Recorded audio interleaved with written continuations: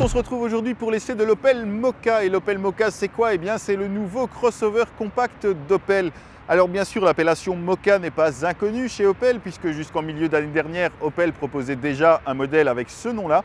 Mais le nouveau modèle est tout à fait inédit de par son architecture, puisqu'il s'agit non plus d'un SUV à proprement parler, mais plutôt d'un crossover à tendance dynamique. Ce nouveau Mocha se distingue par sa nouvelle face avant, qui intègre donc la nouvelle signature visuelle d'Opel avec cette calandre visor qui intègre donc d'un seul bloc, si je puis dire, eh bien, une calandre noire, plate et les blocs optiques. Ce sont des phares qui sont LED matriciels baptisés Intellilux dans le langage d'Opel. Ces phares matriciels permettent donc, grâce aux 7 LED qui les composent, d'illuminer séparément différentes zones en fonction du trafic et des autres usagers de la route pour ne pas les éblouir et toujours garder une luminosité maximale. De profil, le Mocha E a une ligne assez rablée, assez sportive grâce à une ligne de caisse plutôt haute et un toit relativement bas qui lui procure une allure très ramassée, très sportive, très musclée. Donc l'arrière est inédit également puisqu'on trouve eh des feux LED de série sur toutes les versions. À bord, on trouve le nouveau poste de conduite Pure Vision qui est caractérisé par son double écran, l'un de 10 pouces pour euh, les informations de conduite et puis le central pour le multimédia d'une dimension de 12,3 pouces sur la version euh, Navi Pro, donc la version euh, la plus aboutie du système de navigation et du système multimédia. La finition est tout à fait remarquable avec de beaux inserts imitation euh, fibre de carbone, une qualité d'assemblage irréprochable. Ça, c'est une des bonnes qualités d'Opel sur ces derniers modèles.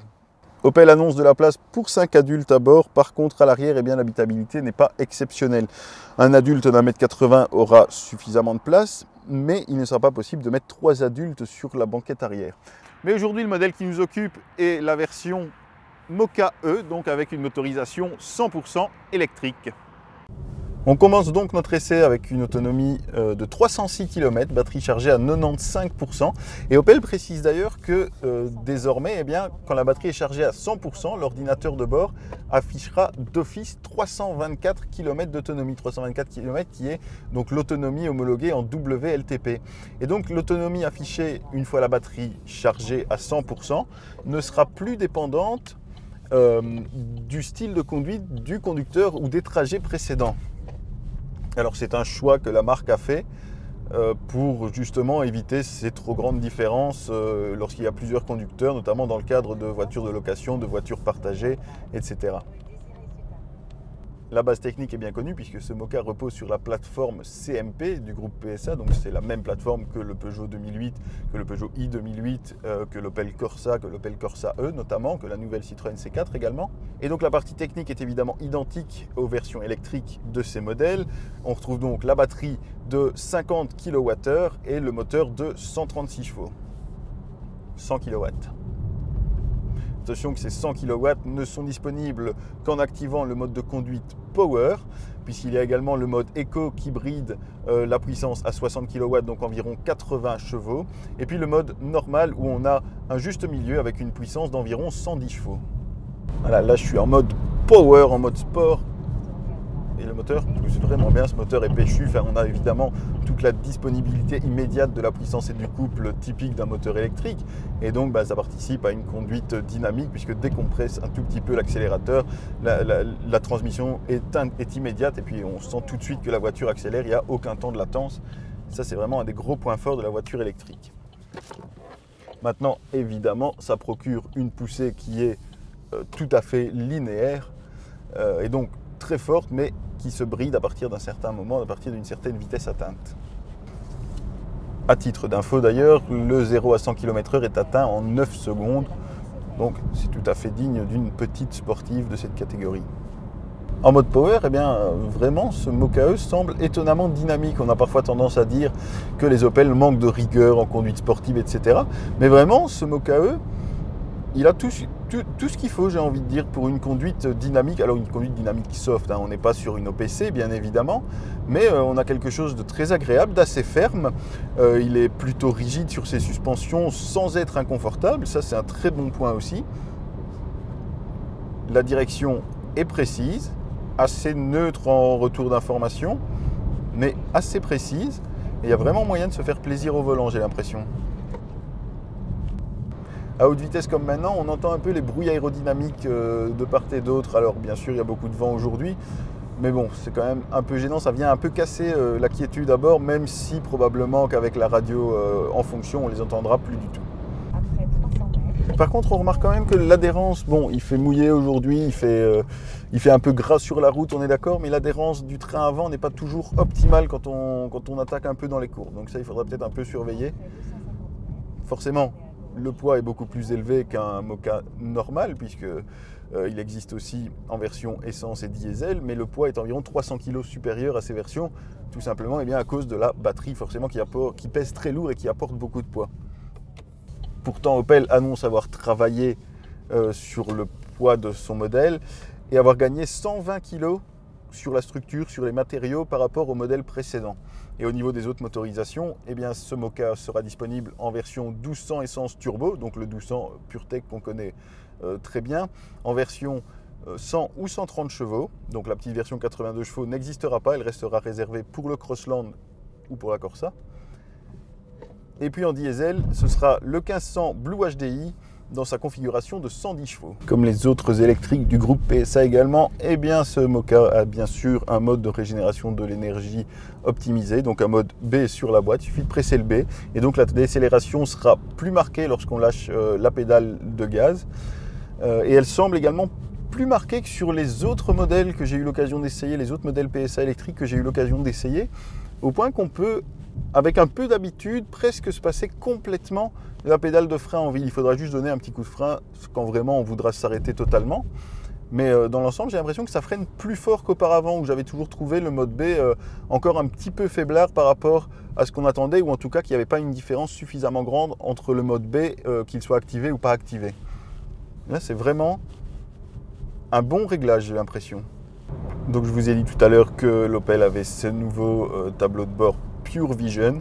Les informations sont vraiment mises de manière très claire, sont vraiment affichées de manière très claire. Et l'écran a un bien meilleur rendu que celui de la Corsa E qui était euh, un petit peu petit, un petit peu mal intégré. Ici, l'écran prend vraiment toute la place. Il peut faire donc jusqu'à 10 pouces de diagonale et 12 pouces pour le multimédia. Donc on a vraiment un grand affichage comme ça sur deux écrans avec les informations qui sont sans fioriture, très claires, c'est très ergonomique euh, à la lecture. Et puis Opel a eu la bonne idée de conserver des touches, des commandes physiques pour la climatisation, donc avec des petites molettes à tourner, un bouton à presser pour les sièges chauffants, sans avoir à passer par l'écran, euh, comme c'est le cas chez malheureusement de plus en plus de marques. Ça c'est très bien, c'est très pratique en roulant, même si c'est vrai que l'écran c'est surtout une question d'habitude en fait. Un mot aussi sur l'équipement, puisque dans les bonnes habitudes d'Opel, eh bien, ce Mocha a des équipements plutôt haut de gamme sur le segment. Je vous ai parlé des phares euh, Intellilux matriciels tout à l'heure, mais à bord, on a aussi pas mal d'équipements euh, plutôt haut de gamme. On a bien sûr un multimédia entièrement connecté avec euh, Apple CarPlay, Android Auto, avec la navigation connectée 3D, etc. On a aussi des sièges ergonomiques massants, des sièges chauffants à l'avant, un volant chauffant, qui est une euh, sorte de marque de fabrique d'Opel, j'ai envie de dire, puisque tous les modèles Opel sont disponibles avec le volant chauffant. Donc vraiment en termes d'équipement, il n'y a rien à redire, c'est vraiment au meilleur niveau de la catégorie. Ce E accepte la charge rapide en courant continu à 100 kW, donc ce qui permettrait de récupérer 80% de l'autonomie en une demi-heure. Et puis en courant alternatif, il embarque deux séries un chargeur de 11 kW, donc un chargeur de 11 kW qui est en option par exemple sur la Citroën C4 ou sur euh, l'Opel Corsa E, il est ici fourni de série et ça permet donc une charge complète de 0 à 100% en 5 heures et 15 minutes. Alors voilà, on arrive au bout de notre essai. Donc euh, c'était un bref essai puisqu'on a fait exactement 31 km et on a consommé 18,8 kWh au 100 km, donc en alternant euh, sur les trois modes de conduite et sur un parcours où il n'y avait pas d'autoroute, mais c'était un parcours assez varié, donc un parcours avec euh, beaucoup de montées, de descentes, des petits chemins, des traversées de, villages, d'agglomérations. Euh, donc 18,8 de moyenne, bah, c'est très bien puisque on n'est pas si loin de ce qu'annonce Opel qui annonce entre 17,4 et 17,6 kWh au 100 km.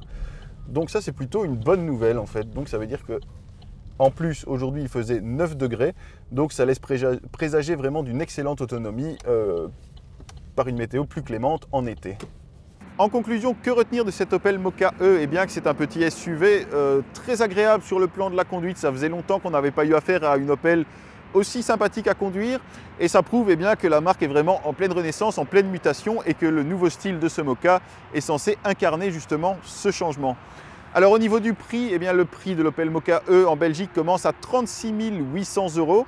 C'est un peu plus cher que euh, ces deux concurrents et cousins directs que sont le Peugeot E2008 qui démarre vers les 35 800, mais aussi un peu plus cher que la IC4, la Citroën IC4. Mais on l'a vu, cet Opel Mokka propose une autonomie tout à fait appréciable, tout à fait réelle par rapport à ce qu'avance le conducteur, puisque, je le rappelle, pendant ce bref essai, nous avons obtenu une moyenne de 18,8 kWh, qui est tout à fait prometteuse. Merci à tous d'avoir regardé cet essai. J'espère que vous avez aimé, que vous commenterez, que vous partagerez et que vous vous abonnerez si ça n'est pas encore fait. Et puis on se retrouve très vite pour de nouveaux essais. Salut Allez, on a bien travaillé Allez, on fait comme la salle de sport, on s'applaudit tous quand on a fini.